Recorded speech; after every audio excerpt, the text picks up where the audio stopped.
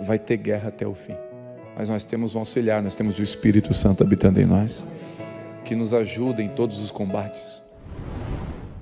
Primeira coisa que eu aprendo olhando pelos olhos do apóstolo Paulo é que a vida cristã é um combate. A vida cristã não é um spar. A vida cristã não vai dar tudo certo. A vida cristã cansa. A vida, vida cristã tem embates e combates diários. E eu vou entrar um pouquinho no coração de, do homem agora aqui. Nossos pensamentos e coração e mente é atacado todo dia. Todo dia tem uma batalha no seu coração e no meu. Todo dia o que vimos na internet, nos outdoors, leva, empurra a gente para uma batalha. Todo dia temos decisões a fazer nessa guerra. E batalha, meu irmão, deixa eu dizer uma coisa para você: batalha tem a ver com frio, com calor, com fome, com sede, não é um parque de diversões. Então, se você está entrando na fé, você se batizou no último batismo, ou você tem 280 anos de igreja, pouco importa, você vai batalhar a vida toda. Saiba que até o final da sua vida você vai batalhar na fé. Eu contei aqui, eu gosto desse testemunho do pastor é, é, Russell Shedd. Senhor, um herói na fé, um homem, um homem que a, a, filha dele disse que só acredita que ele tinha pecado porque a Bíblia diz que todo homem peca. A filha disse assim: ó, Eu só acredito que meu pai tem pecado porque a Bíblia fala que todo homem peca, porque se a Bíblia não dissesse isso, eu não acreditaria. Pensa a integridade de um homem desse o Dr. Russell Shedd, um, um, teólogo respeitado no mundo, oitenta e poucos anos de idade, estava dentro do, do, aeroporto, ele e o seu auxiliar, de trinta e poucos, quarenta anos, sentadinho, de repente os dois lendo, lendo cada um seu livro, passa uma mulher com aquele salto alto, aquele tamanho, toque, toque, toque, toque, se vestiu no ateliê do inferno, com aquela roupa do satanás a vácuo, na ausência, na transparência e na aderência, e os dois levantam os olhos, olham aquilo, baixam os olhos. O pecado não está na primeira olhada, está na segunda. Ou na duração da primeira.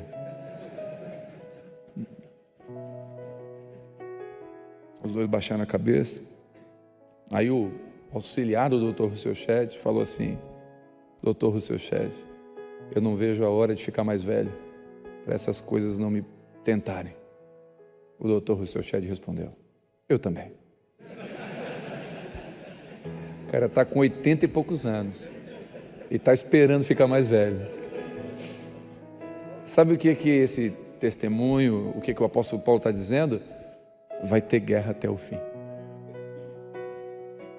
Mas nós temos um auxiliar, nós temos o Espírito Santo habitando em nós, que nos ajuda em todos os combates que alerta o nosso coração, que coloca sinais piscando e fala: cuidado. E é o Espírito Santo, tá? Quando você recebe no privado, no Instagram, uma mensagem para aceitar ou não, e pela foto você já percebeu alguma coisa, é o Espírito Santo dizendo: não aceita. Não é o diabo. E não é só carne. Espírito Santo. Quer um conselho? Não aceita. Porque de um aceite, de uma ligação, pode vir uma imagem que você não deveria ver. E da imagem que você não deveria ver, um convite que você não deveria ouvir. E do convite que você não deveria ver, uma noite que não deveria existir. E de uma noite que não deveria existir, uma destruição que não deveria acontecer. Por uma noite, um prato de lentilhas, nós podemos perder o combate. Porque combate tem a ver com não se distrair. Não pode se distrair em combate. Porque o diabo não dorme. O diabo não tira férias. Isso é tão importante e é tão sério que Deus é o guarda de Israel e vigia enquanto nós dormimos. Posso ouvir um amém? Sabe por quê? Porque o diabo não dorme. Então o Senhor vigia quando dormimos. Então, combate tem a ver com renúncia. Sabe o que é isso? Você não faz somente o que te dá prazer, mas o que te torna forte. combate não é fazer o que a gente gosta, é fazer o que deve ser feito. Irmãos, eu brinco, eu já falei aqui para os irmãos, eu, eu, eu não posso, eu sei onde tem todos os campos de futebol de Criciúma. Eu passo a noite, eu sei onde todos eles que têm iluminação, que têm futebol, eu sei onde estão cada um de Criciúma. Eu passo, eu sei. A minha esposa já sabe, eu passo, eu torço o pescoço. Eu olho todos os campos, porque é prazeroso. É, é, eu, é uma coisa que eu amo, jogar um futebolzinho à noite. Coisa maravilhosa. Só que eu tenho que entender que eu não sou mais um menino de 18 anos que apenas está terminando uma escola. Eu sou um pai de família que tem uma esposa, filhos e pastoreia uma igreja. Que você é um homem, um pai de família, tem filhos e é empresário, e é funcionário, e tem que fazer bem feito, e tem que ler a Bíblia, e não tem tempo para ler a Bíblia. Então, alguns prazeres vão ter que ser renunciados, porque você está em guerra, você não está no playground. E em guerra não dá para brincar. Em guerra não dá para dormir. Se dorme, tem que, ter, tem que ter vigia. Lá no quartel nós tínhamos acampamentos, simulação simples de combate. E como era? Todos iam dormir, uma hora da manhã. E tinha guarda revezando, cuidando da tropa que estava dormindo. E esse que estava vigiando, estava vigiando todos os que estavam dormindo. Triste era quando chegava lá e via este indivíduo, que era para estar acordado, dormindo. Porque daí o inimigo poderia não só matá-lo, mas roubar o armamento e matar toda a tropa. Então, quando você e eu dormimos no combate, toda a tropa, seus filhos e sua esposa, pode ser expostos no combate. E você é o guarda. Você é o vigia. Então, renúncia faz parte. Faz parte. Eu falo aqui que a diferença do brinquedo, a diferença da criança e do adulto é o preço do brinquedo. Verdade, irmão. Meu irmão, meu irmão, a gente compra um carro novo, a gente passa pretinho no pneu. Ó, meu irmão, e quando sai com ele e passa num lugar de poeira, chega em casa, passa o pretinho de novo, para guardar ele, para guardar com o pretinho no pneu. A gente sabe, irmão, onde tem os espelhos e os vidros no caminho para casa. E a gente olha para ver se o carro está bonito com o pretinho no pneu. Só eu ou mais alguém? Levanta a mão. Ah. Então a gente só mudou o brinquedo, o preço do brinquedo, mas a gente gosta, meu irmão, coisa de gente. E eu lembro quando eu comprei o Versalhes, que eu queria trocar aquele Versalhes. O meu sonho era trocar aquele carro. Porque Deus o livre.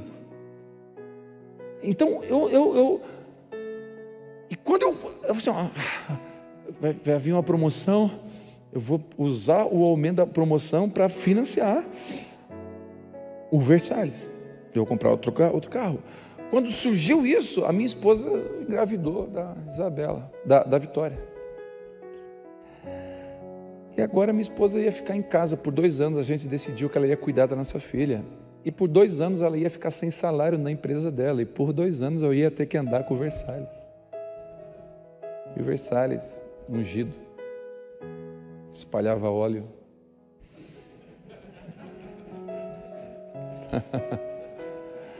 De verdade, irmão, eu tinha um fio 8 milímetros segurando o para-choque de trás. Fio, fio de energia. É verdade. E e sabe uma frase que Deus falou no meu coração na época? Filho, você não tem uma sociedade para impressionar. Você tem uma família para cuidar. Então não troca de carro para impressionar ninguém. Fica com esse carro. Sabe, o combate exige renúncia. Você vai, vai perder noites de sono. Porque é combate você vai perder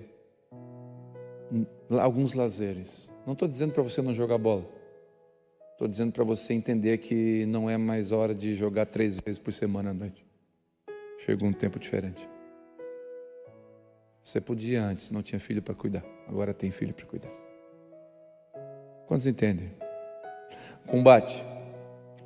Combate envolve preparo Treinamento difícil, batalha fácil. Eu estava contando para os irmãos que nós tivemos um comandante, coronel general hoje, general Alão, um excelente comandante. Ele era atleta de basquete. Ele jogou com Oscar e jogou campeonatos mundiais militares. jogava muito, um atleta de basquete impressionante. Ele chegou aqui no quartel e nós, em todas as Olimpíadas aqui de Santa Catarina, nós nunca tiramos mais do que terceiro lugar no basquete. Nunca. Uma vergonha. O time, o time daqui não era bom. Os outros batalhões ganhavam. E ele chegou e falou: Nós vamos ganhar o campeonato esse mês, esse ano. Isso em fevereiro, o campeonato era em julho, agosto. Falei, beleza. Primeiros dois meses a gente não viu a cor da bola de basquete. Primeiros dois meses ele botou a gente correr, marcar, treinar, abdominal, flexão. Irmão, a gente estava ficando virando no Iron Man. Eu pensei, nós vamos jogar basquete ou a gente vai lutar UFC? Porque era só treino, era só. E aí, depois de dois meses, ele deu uma bola para nós, falou: vocês vão aprender a dar passe. Passe, passe.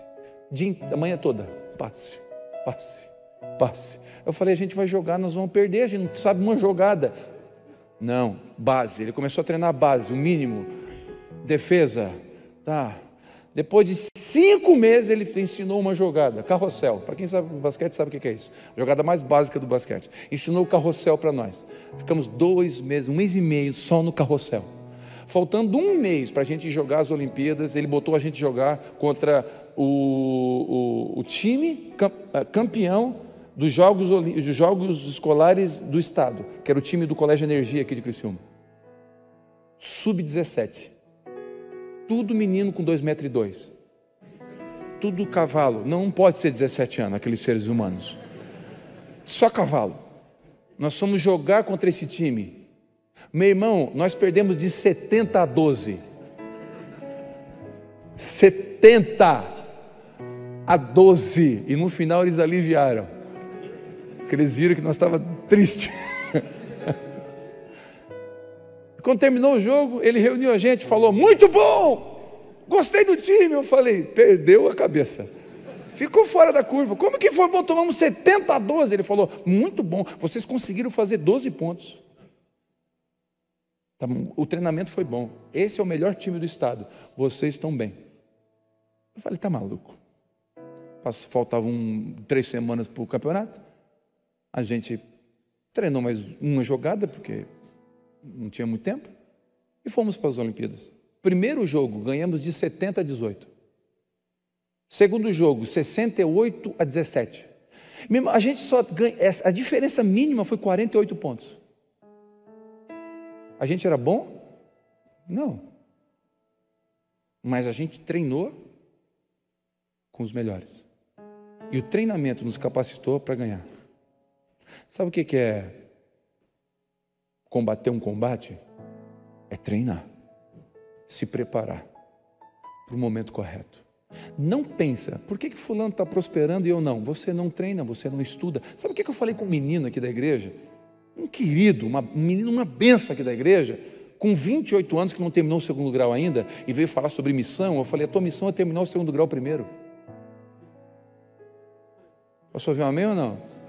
Vamos terminar o segundo grau? Ah, mas eu não sei se eu sou capaz. É sim, se inscreve. E eu quero amanhã a sua inscrição lá no, no Seja, lá onde oriento. E ele é? É. Semana passada mandou para mim certificado de conclusão do segundo grau. Começou a se posicionar. Não se preparou antes. Passou vários cavalos encilhados, ele não pôde montar porque não tinha um mínimo. Quando você pega um livro para ler sobre casamento, você não é fraco, você é inteligente. Você está lendo, não, um livro, principalmente biografia. Biografia de, de alguém é o resumo da vida, da experiência de um ser humano, em páginas. Você aprende com o erro de alguém e com os acertos. Mas não, não precisa eu sou o cara. Não, em nome de Jesus, você está num combate. E quem está no combate tem que treinar. Posso ouvir um amém? Treina. Te prepara para o combate. Vai vir a guerra. Vai vir a guerra, vai vir a tentação.